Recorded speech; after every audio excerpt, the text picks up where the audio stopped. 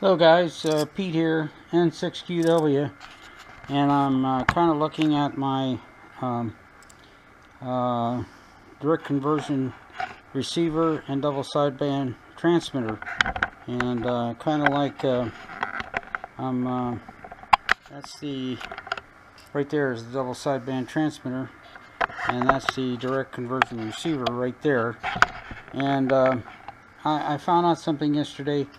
Uh, I wasn't transmitting on 7 megahertz, even though the display said it. It was something different because I couldn't hear myself in a, an adjacent receiver. But I've since uh, corrected that, and I've got uh, my little Atlas 180 here that I'm uh, using as a detector. So there's no connection between the two. It's just picking up what's uh, off the bench. I got a little uh, chunk of wire on it, kind of as an antenna, and so we're able to we're actually able to hear the signal. You can hear the carrier right there. And if I turn this uh, on, uh, you can hear uh, the, uh, the lower sideband of the double sideband, the lower sideband of the double sideband, and it's transmitting on 7.2. And now I'm going to switch sidebands here and uh, there's uh, the the uh, uh, uh, upper sideband, the upper sideband part of the double sideband that I'm copying on the re receiver here.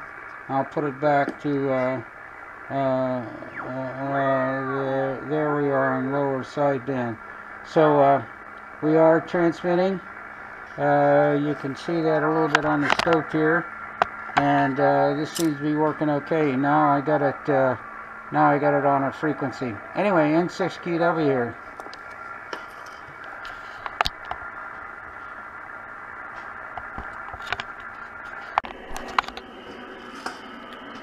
here's where we're having an SDR uh, transceiver becomes useful.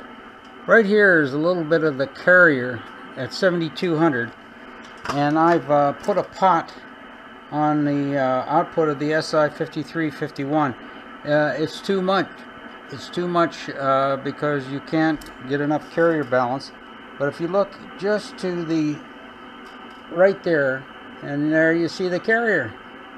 And this dramatically reduces the carrier to a pretty low value. And I'm only seeing about 35 dB of suppression. So there may be some other things that we need to do there. So I'm going to put this um, right on 7200 so you can see it. Okay and I'm gonna hit the uh, I'm gonna hit the mic gain. And a couple other things become evident here. Hello radio. Hello radio. That's the lower sideband hello radio. That's upper sideband hello radio. Now watch this Look at that spectrum. Uh, that means we ought to put that filter in between the audio stage and and the MC1496 so, so we eliminate the uh, audio bandwidth. Now what's interesting is if you listen to this on AM, there's AM and there's no carrier. So um, the, the typical sideband being copied on AM, you can hear it right there. So uh, let me uh, go over here to upper sideband and there we are and then lower sideband. So uh, we are producing upper and lower sideband. I, I've got the uh, VFO uh, set uh, at 7200. I've reduced the, the carrier and you saw the little carrier exercise right there. So um, I, I, think we've got a better a better uh, double sideband generator here uh, with the uh, putting a pot. So we reduce the output of the SI5351. It was way overdriven, way overdriven. So um, you, you, get to see it on the SDR and it uh, makes things a little clearer. This is Pete here, N6QW, using uh, a little SDR to uh, measure our uh, double sideband generator.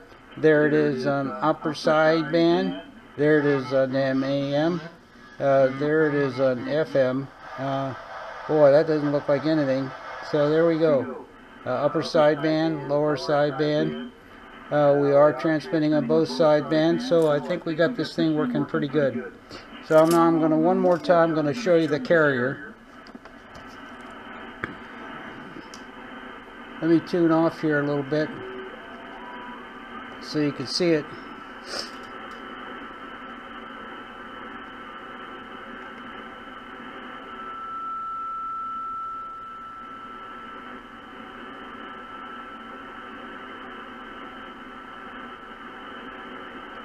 It's about uh, from about 110 to 70. It's about 40 dB, about 40 dB.